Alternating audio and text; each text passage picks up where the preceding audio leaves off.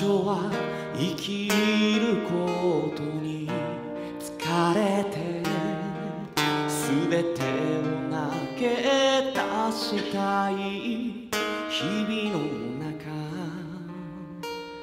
誰にも分かってはもらえない。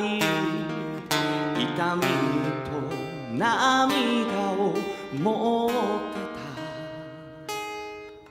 彼女を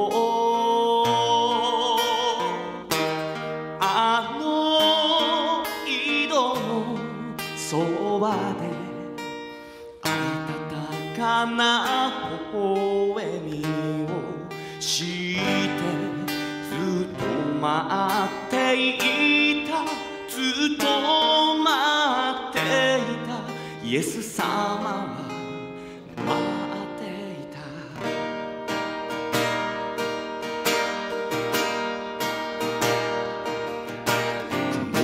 は流れ風も過ぎてく慌たしく変わるこの時の中して変わらない御言葉は今も私に語りかける確かに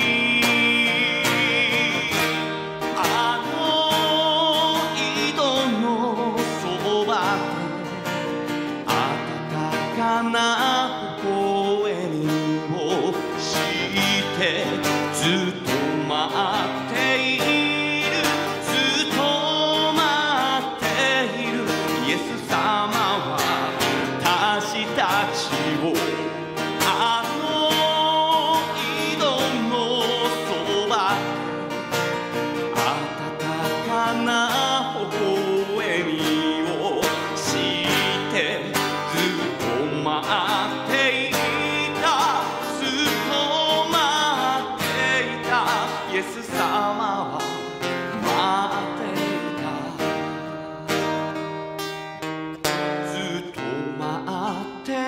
いた。